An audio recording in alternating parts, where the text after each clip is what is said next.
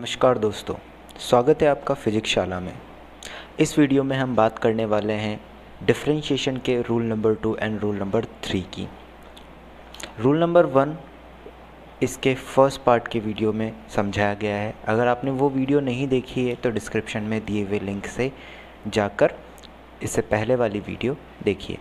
तो आज की वीडियो में हम रूल नंबर टू और रूल नंबर वन के बारे में बात करने वाले हैं कि रूल नंबर टू और वन क्या होता है। तो देखिए फ़र्स्ट वीडियो में हमने बात करी थी कि अगर y इजिकल्स टू एक्स की पावर n, कोई फ़ंक्शन आ जाए, उसका डिफ्रेंशिएशन किस तरीके से करते हैं। आज की वीडियो में हम बात करेंगे कि अगर कोई कांस्टेंट आ जाता है तो उसका डिफ्रेंशिएशन हम किस तरीके से कर सकते हैं। तो देखिए दोस्तों रूल नंबर टू हमारे पास क्या है?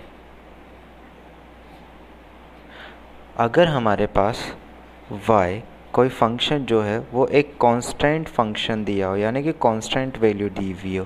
कांस्टेंट वैल्यू मतलब कि टेन हो सकती है माइनस टू हो सकती है थ्री हो सकती है पाई हो सकता है एनी कांस्टेंट टर्म तो अगर कोई भी कांस्टेंट टर्म आपको दी गई है, उस कांस्टेंट का डिफरेंशिएशन हमें देखना है। तो यहाँ पर मैं आपको पहले इसका फॉर्मूला बता देता हूँ, फिर उसके रिज़ल्ट कैसे आया उसके बारे में बात करेंगे। तो अगर कोई भी फ़ंक्शन हमें दिया हुआ हो, जिसमें y अगर कांस्टेंट है तो उसका डिफरेंशिएशन हमेशा ज़ीरो होगा। अब ज़ीरो क्यों होगा? देखिए, इसको प्रूव किया जा सकता है कि कांस्टेंट का डिफरेंशिएशन किस तरीके से ज़ीरो हो सकता है। बेसिकली सबसे पहले हम जो इसमें बता सकते हैं फ़र्स्ट प्रूफ जो है, मैं इसमें बता सकता हूँ आप लोगों को, कि कि जो डिफरेंशिएशन है, वो वेरिएबल का होता है। तो कांस्टेंट टर्म तो हमेशा जो होगी ten minus two three pi ये सारी टर्म्स कांस्टेंट है तो कांस्टेंट का तो कोई आ, किसी भी के साथ भी वो वेरी नहीं करेगी किसी भी वेरिएबल के साथ वो वेरी नहीं करती है तो उसका डिफ्रेंशिएशन ज़ीरो हो जाएगा। मतलब कांस्टेंट वैल्यूज़ हमेशा किसी न किसी के किसी के भी रेस्पेक्ट में कांस्टेंट रहने वाली है तो यहाँ पर हम डिफ्रेंशिएशन इसका ज़ीरो लेकर चलते हैं। तो हम ये बोल सकते हैं constant values are always are always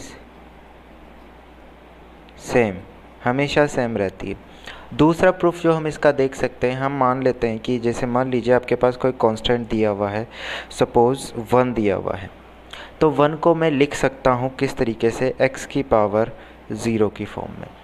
अगर हम इसको x की पावर ज़ीरो के टर्म्स में लिखें, अब मुझे अगर इसका डिफ्रेंशिएशन करना है तो देखिए दोस्तों d y by d x किस तरह से होगा?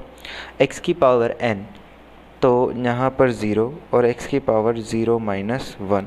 तो जब आप इसको देखेंगे तो ये x की पावर माइनस बनेगा। लेकिन अब यहाँ पर ज़ीरो से मल्टीप्लाई करने पर किसी भी नंबर को या किसी भी वेरिएबल को अगर हम ज़ीरो से मल्टीप्लाई करें तो फाइनल आंसर हमेशा ज़ीरो आ जाता है। तो इसका मतलब किसी भी कॉन्स्टेंट वैल्यू का डिफ्रेंशिएशन अगर हम करते हैं तो हमारे पास फाइनल रिज़ल्ट ज़ीरो आने वाला है। इससे रिलेटेड हम एग्ज़ाम्पल भी देख सकते हैं।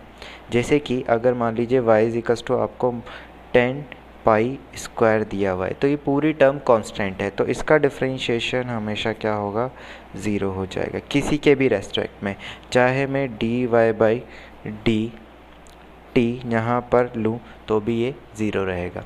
तो हमें एक चीज़ यहाँ पर ये याद रखनी है कि कोई भी अगर कांस्टेंट वैल्यू आ जाती है कांस्टेंट वैल्यू का differentiation with respect to time या किसी भी वेरिएबल के रेस्पेक्ट में ज़ीरो ही रहेगा। अगर कांस्टेंट अकेला आता है तो। ठीक है, अगर कांस्टेंट के साथ कोई और वेरिएबल आ गया तो नहीं होगा, उसको हम रूल नंबर थ्री में देखेंगे। तो आइए देखते हैं rule number three rule number three rule number three क्या दिया हुआ है? देखिए रूल नंबर टू में हमने देखा था कि अगर कोई भी कांस्टेंट वैल्यू दे दी जाए तो उसका डिफरेंशिएशन ज़ीरो होता है।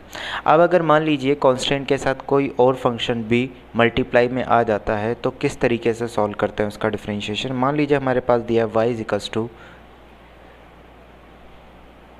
y is equals to x की पावर n और कोई एक कांस्टेंट फ़ंक्शन या इसको ऐसे भी लिखा जा सकता है, k इंटू एक्स की पावर n. तो इसका डिफ्रेंशिएशन करते टाइम पे हमें क्या करना है? जब भी हम d y by d x करेंगे तो यहाँ पर जो कांस्टेंट होगा, उसको हम बाहर रहने देंगे और x की पावर n का सिर्फ़ डिफ्रेंशिएशन करेंगे।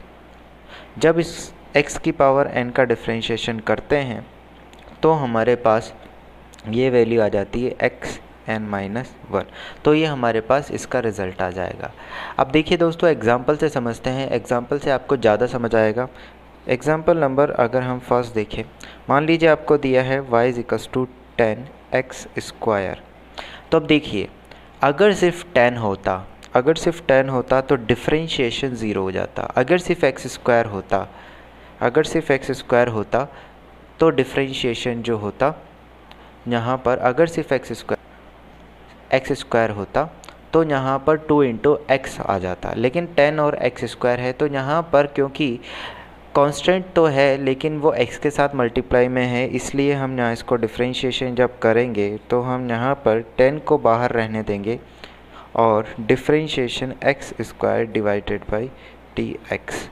जब हम इसको पूरा सॉल्व करते हैं तो हमारे पास d y by d x जो है, वो निकल कर आता है टेन और टू एक्स एक्स स्क्वायर का डिफ्रेंशिएशन तो हमारा जो फाइनल आंसर होगा, वो हो जाएगा ट्वेंटी एक्स तो ये हमारे पास डिफ्रेंशिएशन होगा। एक और एग्जांपल देखते हैं।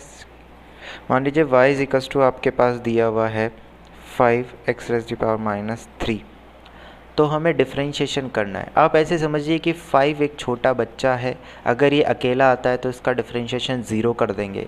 लेकिन अगर ये किसी और फ़ंक्शन के साथ आता है तो हम इसका कुछ कर नहीं पाते हैं। फिर हमें सिर्फ़ इस फ़ंक्शन का डिफ्रेंशिएशन करना है। तो यहाँ पर फाइव जो है d y by d x अगर हम इसका डिफ्रेंशिएशन करते हैं तो फाइव को हमें बाहर रखना पड़ेगा और डिफ्रेंशिएशन जब हम करेंगे एक्स की पावर माइनस थ्री का तो इसका डिफ्रेंशिएशन करने पर हमारे पास आएगा फाइव इसका डिफ्रेंशिएशन जब हम करते हैं एक्स की पावर तो ये बनता है minus three x as the power minus four minus four कैसे हुआ? माइनस थ्री माइनस वन अगर हम करते हैं तो माइनस फोर हमारे पास आ जाएगा। तो d y by d x जो हमारे पास होगा, वो कितना हो जाएगा? Minus fifteen x as the power minus four तो ये इसका फाइनल आंसर हमारे पास यहाँ पर हो गया। तो सिंपल से रूल हैं दोनों। फ़र्स्ट रूल, सेकंड रूल ये है कि अगर कोई कांस्टेंट आ जाता है तो उसका डिफरेंशिएशन ज़ीरो हो जाएगा। और अगर कांस्टेंट के साथ कोई फ़ंक्शन आता है तो कांस्टेंट कट को हम बाहर रखेंगे कांस्टेंट के साथ कुछ नहीं करेंगे, जैसा है वैसा रहने देंगे। जैसे टेन जैसा था, उसको वैसा रहने दिया। फाइव जैसा था, उसको वैसा रहने दिया।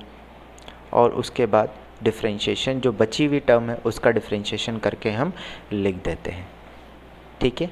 चलिए इसके कुछ और एग्जांपल मैं आपको देता हूँ, आप इसको देखिए। अगर प्रैक्टिस के लिए आपको इसके एग्जांपल डिस्क्रिप्शन में मिल जाएँगे। तो अगर ये वीडियो अच्छी लगी है आपको तो इस वीडियो को लाइक कीजिए। चैनल को सब्सक्राइब कीजिए और नोटिफिकेशन बटन को ऑन करना मत भूलिए, ताकि आपके पास जब भी नई वीडियो नई वीडियो अपलोड होगी तो आपके पास नोटिफिकेशन आ जाएगा। और इसी तरीके नई वीडियोस को इंटरेस्टिंग और बेसिक वीडियोस को जानने के लिए बने रहिए फिजिक्स शाला के साथ। Thank you very much